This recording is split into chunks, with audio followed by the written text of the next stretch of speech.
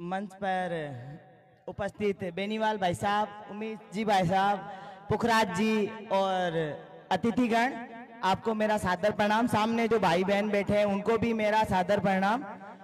और सबसे पहले मैं कहूँगी कि तेजाजी महाराज की, राम सापीर बाबा की, आज हम लोग यहाँ पे आए हैं सत्ता परिवर्तन यात्रा।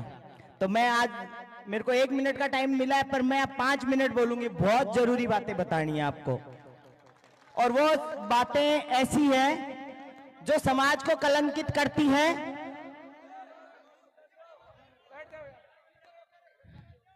जो समाज को कलंकित करती है। और वो सरकार पे ऐसे निशानियाँ, सवाल, अंगुली उठाती है कि क्या कर रही है सरकार? आप लोग मुझे फॉलो करते हो, आप लोग देखते हो मेरा एक सोशल मीडिया पे मामला है, जिसमें मेरा फर्जी पेज बनाया हुआ है और फर्जी पेज पे अश्लील मूवी चलती है गंदी गंदी पिक्चरें चलती है। आप लोगों के निवेदन किया, मैं लोगों से भी निवेदन कर चुकी हूँ, बहुत सोशल मीडिया पे भी बोल चुकी हूँ कि मेरा पेज बंद कर दिया जाए। आज इतना प्यार दे रहे हो, भाई साहब के साथ बैठी हूँ मैं और अपने आप को बहुत भाग्यशाली मानती हूँ और सबसे ज़्यादा खुशी इस चीज़ की है कि मैं आरएलपी टीम का हिस्सा हूँ। और जब मैं सुरक्षित नहीं हूँ तो आप लोग कैसे सुरक्षित होंगे? और ये फैसला मैंने इसीलिए भाई साहब के पास आई हूँ कि ये सबकी सुरक्षा करते हैं। इनके लिए जातिवाद बिल्कुल शब्द नहीं है, उनके लिए आप भाई हो।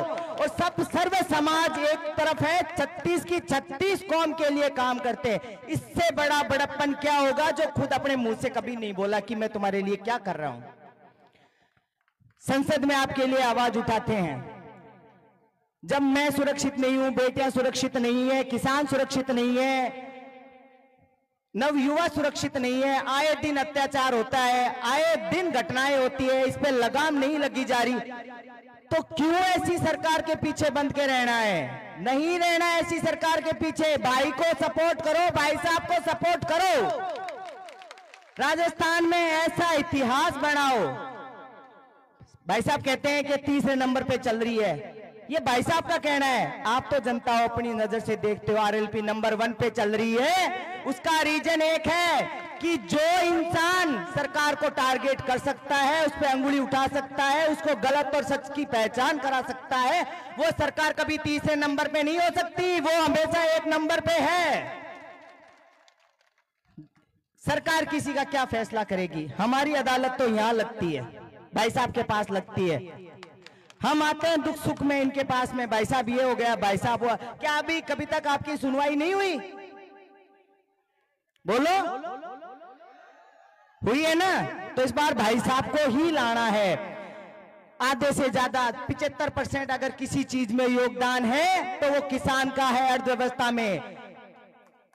ये सबसे बड़ा कारण है कि सरकार इसको दबाने की कोशिश कर रही है। किसान नहीं हो तो कुछ भी नहीं हो।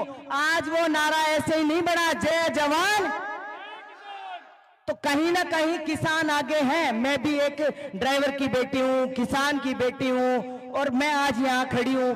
तो आप सोचो स्ट्रगल करके आगे पहुँचता है। यहाँ पे कितने लोग आ गए कितने लोग चले गए आपके गुडा मलानी में और कितने परिवर्तन हो गए। जब पिछहत्तर साल से परिवर्तन नहीं हुआ तो अब भी उम्मीद मत रखना कि कुछ परिवर्तन हो जाएगा। और परिवर्तन जब ही संभव है जब आरएलपी आएगी लोकतांत्रिक पार्टी आएगी। मैं खिलाड़ी हूँ। मैं कहती थी कि मेरा इस, इस चीज़ों से कोई दूर दूर का संपर्क नहीं है मैं राजनीतिक से मेरा कोई इंटरेस्ट नहीं है। पर कहीं ना कहीं आपकी बहन उत्पीड़न तो हुई है ना? यातनाएँ तो झेली है ना? और इतनी गंदी यातनाएँ जो बदनाम करने का काम करती है।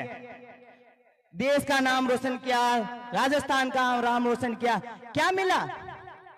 एक छोटा सा पेज तो बंद नहीं हुआ, वो क्या आपकी सुरक्षा करेंगे, क्या बेटी को सेफ़ करेंगे, क्या बेटी बढ़ाएँगे, क्या बेटी बचाएँगे? और बचाएँगे तो ऐसी चीज़ों के लिए बचाएँगे? बिल्कुल नहीं बचाएँगे ऐसी चीज़ों के लिए। आपकी, आपके घर में बच्चे मैं तो कहती हूँ इंटरनेशनल स्कूल में पढ़े, देश का नाम रोशन करे, समाज का नाम रोशन करे, बेटियाँ हर फ़ील्ड में आगे जाए, किसानों को हक मिले, नव युवा को रोज़गार मिले, और वो जब भी संभव है, जब आरएलपी पार्टी को आप वोट दोगे और उसको विजय बनाओगे, और बेनीवाल भाई साहब को मुख्यमंत्री पद पे बिठाओगे। कल से एक चीज़ है, मुझसे जो लोग मुझे पूरे वर्ल्ड में फॉलो करते हैं, मेरी फेसबुक पे जाओ, इतने मैसेज पड़े हैं कि मैडम उत्तर प्रदेश एमपी मुंबई, जहाँ जहाँ से कहते हैं, मैडम, आपकी पार्टी हम भी ज्वाइन करना चाहते हैं। तो ये अपना सौभाग्य है कि राजस्थान से बाहर तक पार्टी को जानते हैं कि आरएलपी पार्टी है और बहुत अच्छा काम कर रही है। इस बार मुख्यमंत्री बना दो। अगली बार मैं वादा करती हूँ, पूरे भारत का वर्णन करूँगी और भाई साहब को प्रधानमंत्री बनाएँगे।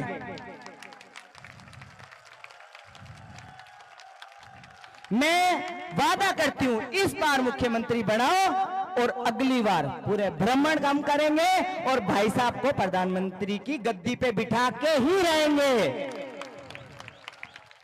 कहते हैं, कांग्रेस के इतनी भीड़ आई थी, बीजेपी के इतनी भीड़ आई थी। जो हम लोग इकट्ठे हैं ना, हम तो सिर्फ़ राजस्थान के हैं। जब बाहर के लोग यहाँ के सभा करते हैं ना, कांग्रेस, बीजेपी और तो आधी से जनता बाहर आ जाती है, बाहर से ही आ जाती है।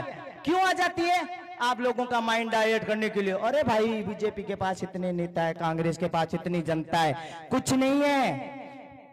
खाटू श्याम जी में कांड हुआ था, बसे भर के आई थी औरतें कितना गुस्सा करी थी। क्या कह रही थी? एक औरत कह रही थी, बाप काना माने लिया हो पानी पीऊ नहीं, कौन छोड़ी? बस रोकी कौन है? तो इस तरह औरतों को टारगेट मत बढ़ाओ। औरतों को टारगेट करके कभी किसी ने राजनीतिक हासिल नहीं की है। और भाई साहब ने कभी मेरे को नहीं बोला कि, प्रिया, तुम ऐसे बोलो, प्रिया, तुम ऐसे बोलो। मैं जो बोलती हूँ खिलाड़ी हूँ दिमाग में मेरे कुछ नहीं है। जो बोलती हूँ, दिल से बोलती हूँ। और जो दिल से बोलता है, वो हमेशा करके दिखाता है।